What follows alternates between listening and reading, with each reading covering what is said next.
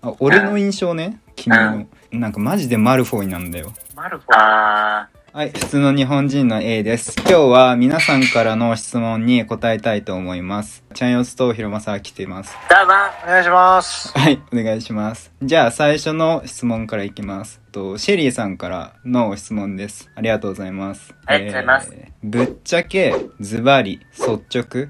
この3つの単語の違いと使い分けを教えてもらえませんか？どういう違いがある？ぶっちゃけって言うとね、うん。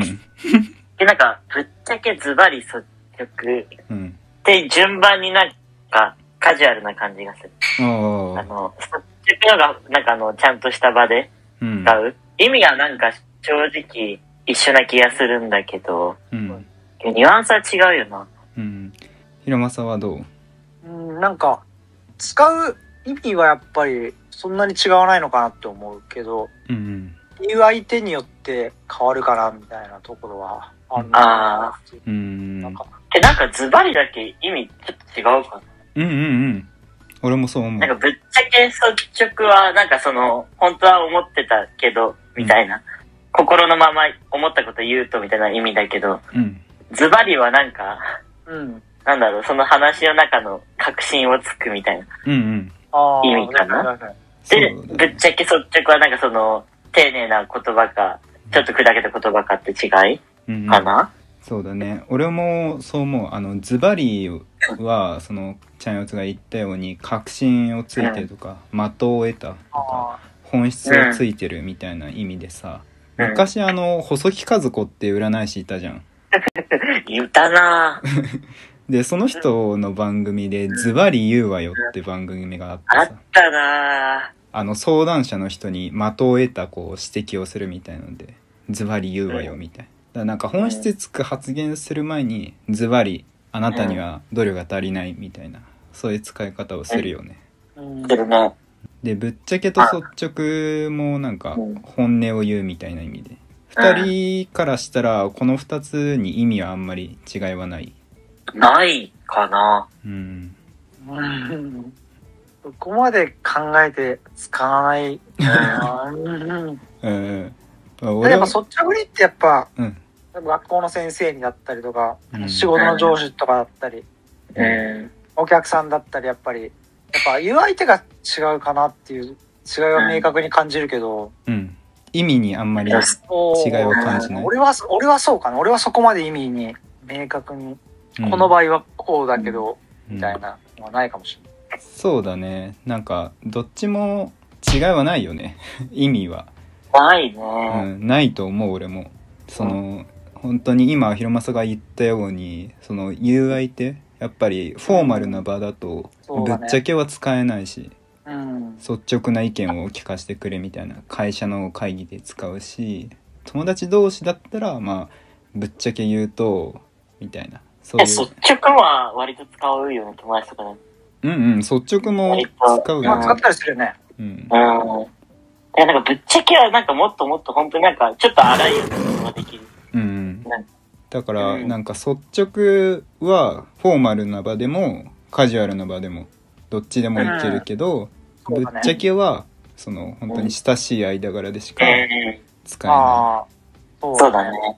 まあじゃあそんな感じでどうでしょうか？じ ゃあ、そんな感じで、ズバリは本質をつくって感じで、うん。で率直ぶっちゃけはまあ言う相手。率直はどっちでもどの状況でも使えるけどぶっちゃけは友達同士で使うって感じですね。うん。このリクエストはこんな感じで。はい A です。文法の補足説明をします。ズバリはズバリ言うとで後に文を持ってきたり君に必要なものはズバリ努力だなど文の間に入れて強調することもできます。じゃあ行きましょう。ズバリ場面は映画。場合はゲームです。率直ぶっちゃけそれぞれ後に文を持ってくる場合は率直に言うと何々。ぶっちゃけて言うと何々ですね。ぶっちゃけの場合はて言うとを省いてぶっちゃけでも大丈夫です。それぞれ名詞に接続する場合は率直な意見。ぶっちゃけた感想などです。今のね、率直な感想はそうなっちゃう。もし使い方で不安な場合はコメント欄で文を書いてくれれば添削するのでガンガン書き込んでください。では次の質問へ行きましょう。じゃあ次のリクエストに行きますあこの方はね以前あの僕って友達同士で使ったらおかしいですかっていうのを質問してくれたあ方なんだけど。あ、いつもありがとうございます。ありがとうございます。でちょっとね名前が読めないんだけどちょっとどう読むか教えてほしいですこれ見てたら。T ブリッジさんかな。じゃあ読み上げますね。うん。はい、日本語を4年間以上勉強してるのにどんな時に「君」という二人称代名詞を使っていいかがまだ分かりませんもしよければこれに関する動画をアップしてもらえましたら感謝ですさあこれ質問面白くない、面白いうん、ね。っていうのもさ俺自身さうん。「君」ってまず言わない使わないんだよ俺人に対して俺も言わない。うん広間さん言うよねたまにいや、なんかね、二人称、だから、二人で話してる時に相手に使うじゃん。うんなんだろうね。いや、なんかさ、あその男の親しい中でさ、うん女の子は多分これ共感できないんだけど、お前って、俺は結構呼ぶ関係が普通にあってさ、うんうん。だけど、お前って言い方ってさ、うんお互いがお前って呼んでる間だったらいいと思うんだけど、うんうん。ちょっと失礼かなって感じる人もあ、いるいことはいる。るなと思って、そこに俺自身が気を使うと、相手に対して気を使うと、うんお前が君になったりするんだよね、俺は。なるほどねああ、面白いねうんっていう呼び方自体は、やっぱりその自分と立場が同じか、それ以下の人にしか使えないよね。まあこれは、俺はそういう認識なんだけど、うん目上の人には決して君って使う。まあ使わないよね。そうそうそう。使えないねそうだね君ってまあよく使われるのはさ上司が部下に対して使うよねまず。うん。まあ。まあ、上司が部下に使うのは君とか、うん。まあお前、なんか怒るときはお前はいつもみたいな感じで、うん。お前って言われたりするよね。うんうんだからその同じ間柄？その社会的地位同じ間柄かもしくは下の人？っていう時にまあ君。使う人は使うけどあ俺の印象ね君の。まず俺が君って使わないのはちょっとねなんかよそよそしい感じがするのすごいああ少し距離があるというかあ。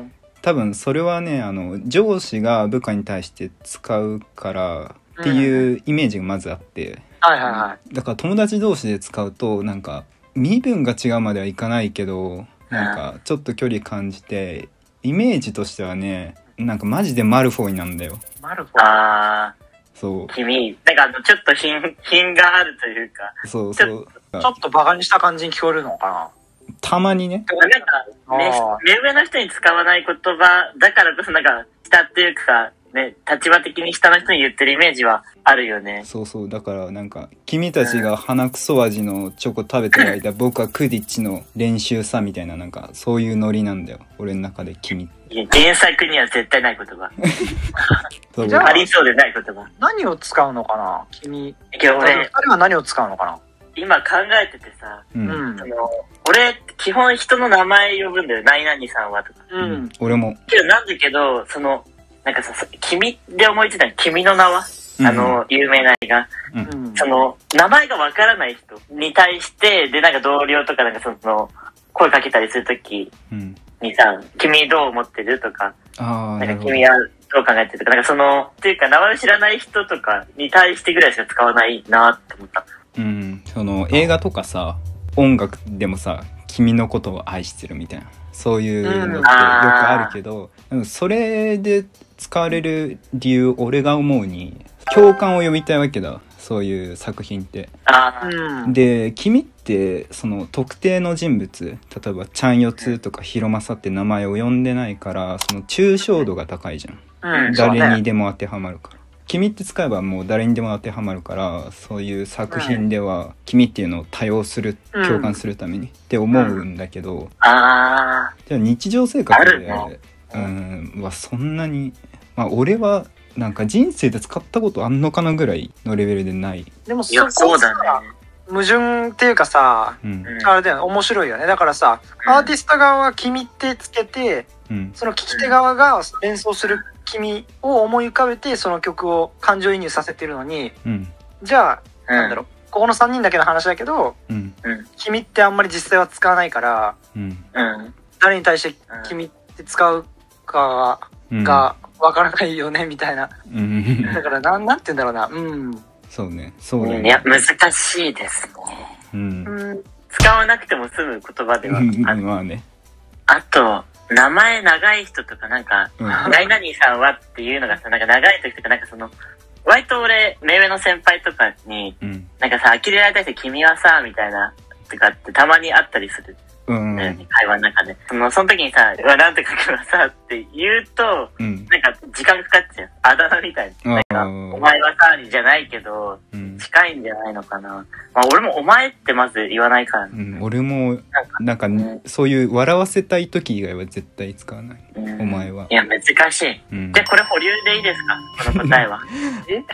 名前を呼ばれた方が間違いなく、あ、自分の名前知ってるんだとかさ、あうん、自分に向けて言ってくれてるんだって、その特別感がさ、増すからさ。間違いなく、何々さんはとかって言われた方が、印象はいいんだろうね。うんだかなんか段階的に言うと今の話まとめるとねうん。名前がまあ一番良くてうん。でもまあお前はまあ失礼で特別、本当によほどの特別な関係じゃないと。うん。でその間が君ぐらいの感じうん。そうだね名前を呼べないけど、その人を呼びたいとき。うんそうだねで、立場がそういう関係の時うん感じ。だからまあいつ使っていいかがまだ分かりませんっていうのは、まあ確かにね、うん無理に使う、そうだね。言葉では使った方がね。いいわけでもないしね。うん、使う場面が絶対あるわけでもないからね、そうだね、確かに。うん必須なものではないよね。うんう、ん。使いたかったらまあ部下とか名前の方がいいっていうことだねはいだからまあこんな感じで回答になったら嬉しいですそうだぜひ、ね。いいねの方お願いします。じゃあまあ今後もこんな感じでもし質問があったらガンガン答えてくんでコメント欄でリクエスト待ってます。じゃあ今日はこの辺で。じゃあね